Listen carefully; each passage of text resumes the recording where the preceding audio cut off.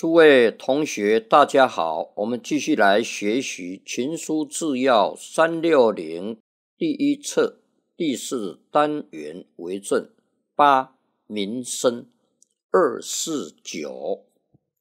民有余则轻之，故人君念之以轻；民不足则重之，故人君善之以重。凡轻重练善之以时，即准平。故大甲续家，不得豪夺无民矣。这条出自于《建十四·汉书二》。大甲是指大商人啊，现在的这个大商家了。续家呢是蓄藏财货很多之家。啊，这一条讲啊，民有余则轻之，故人君练之以轻啊。民众，那么他这个农作物啊，啊，比如说稻米啦、蔬菜啦、水果啦，啊等等这些丰收啊有剩余，量很多的时候啊，啊，比如说菜大出了，农作物很多的时候啊。那个物价呢，它就便宜了。我们一般讲，供过于求了，啊，太多了，然后自然它那个物价就会低了。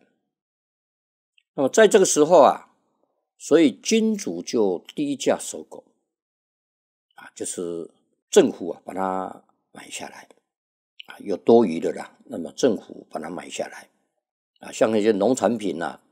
多余的剩的很多，那很便宜啊。这个时候政府就出钱买下来。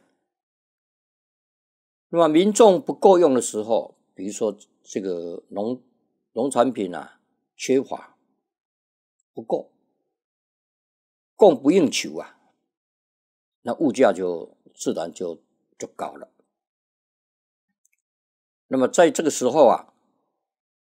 君主啊，政府啊，就把之前买的啊比较便宜的这个拿出来抛售，啊，这是抛售啊，也就是平衡了市场的价钱呐，啊，如果收购与抛售啊能够合于时机啊，而且掌握的恰当，供求就能平衡，啊，这个供应的这一方面，需求的这方面啊就能平衡。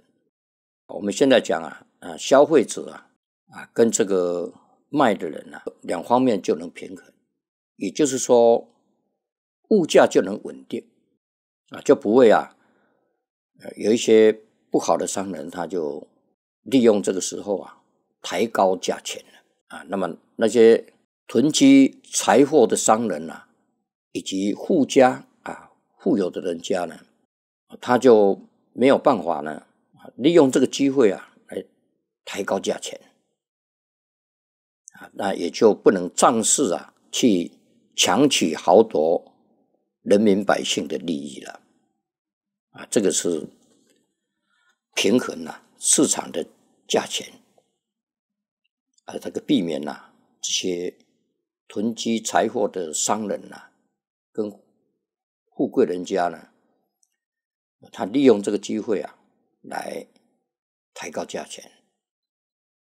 来强取豪夺人民百姓的利益，啊，这样啊，这个市场消费这些价钱就不稳定了，啊，所以这个供需都要平衡，啊，这一条民生我们就学习到这里，祝大家福慧增长，欢喜充满，阿弥陀佛。